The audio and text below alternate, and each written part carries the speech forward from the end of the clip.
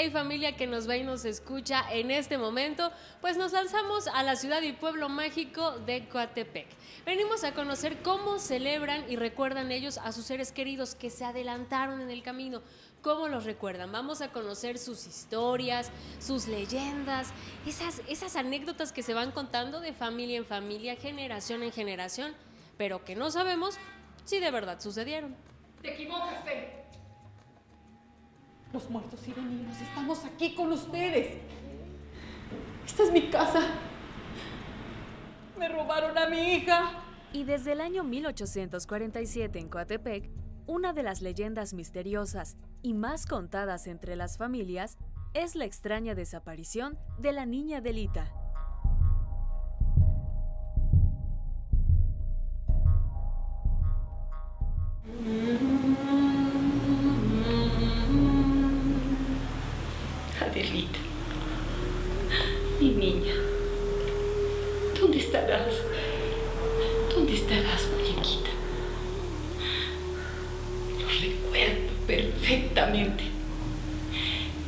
Era una niña de tres años, solamente tenía tres años. Era la alegría de esta casa. Adelita jugaba en el pozo, era su lugar preferido, pero también en los túneles. Ah, ¿Cómo la recuerdo? Con su vestidito blanco y sus muñitos en la cabeza.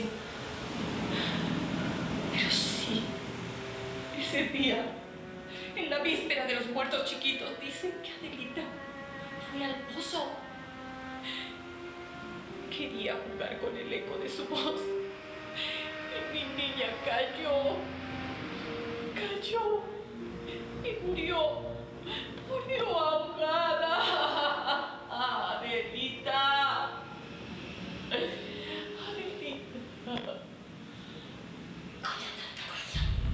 Ustedes tuvieron la culpa. Ustedes tuvieron la culpa. No hay tantos hombres porque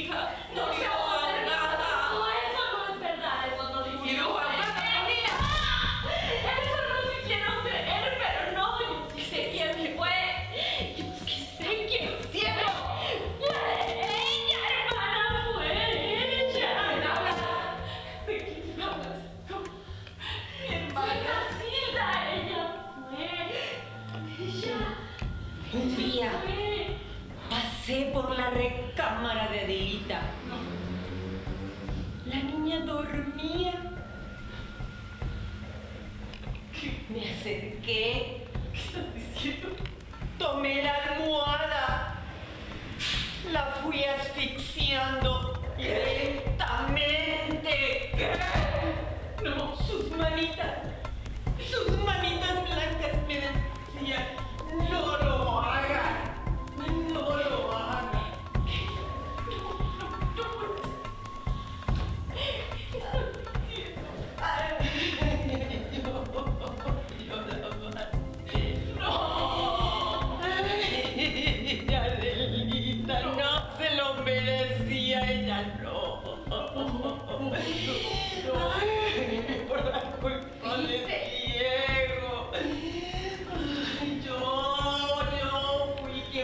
Los moños en el pozo. Ay, ay, Dios.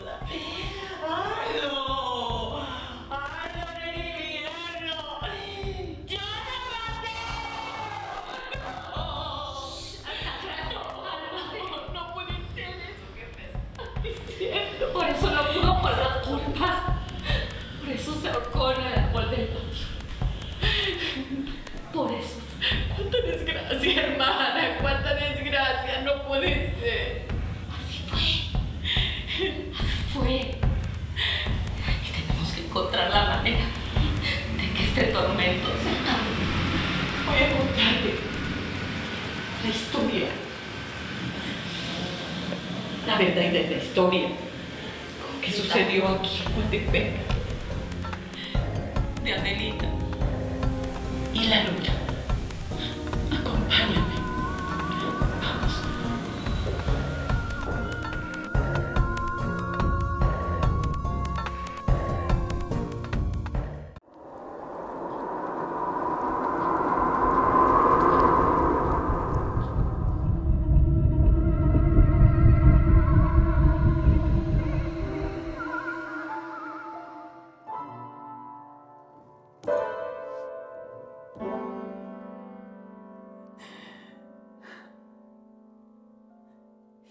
felices. En esta casa. Mi padre Maximiliano, mi madre y mis tres hermanas. Por desgracia, mi padre contrató a un caballerango y vino a hacer unos trabajos en las caballerizas. Diego Hernández siempre se vestía de charro.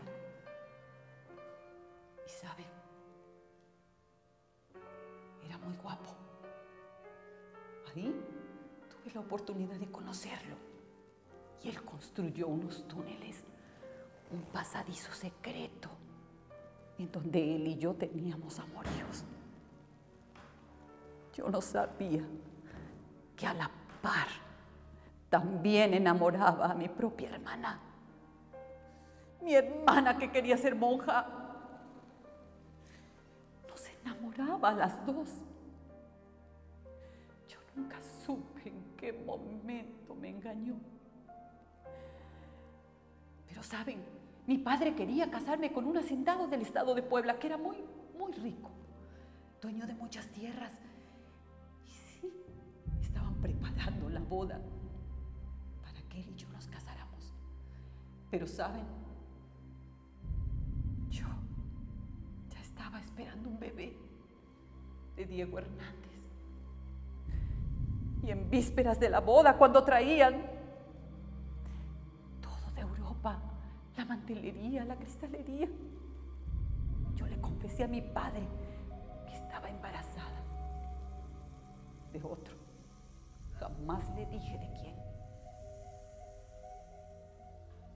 Sabe, a mi hermana la engañó, igual que a mí. Y ella solas, allá en un túnel, bordaba su vestido de novia, porque creía que Diego Hernández le iba a responder. Cuando mi padre se enteró, suspendieron toda la boda. La boda fue cancelada y yo, y yo me encerraron nueve meses en una habitación hasta dar a luz a mi hija Delita. Mi hija, cuando nació, era la alegría de esta casa.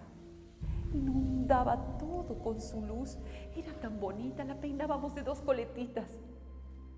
Le gustaba jugar en los túneles, en la torre y en el pozo.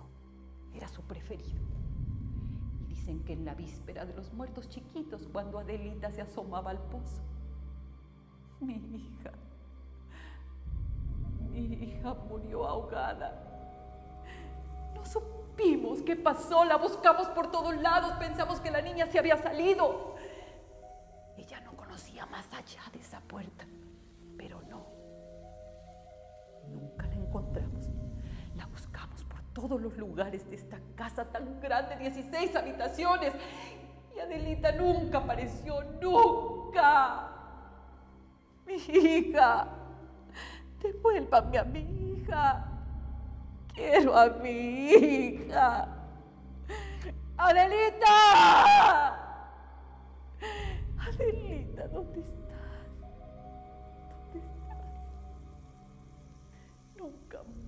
Volvimos a saber de ella. Nunca. Nunca más.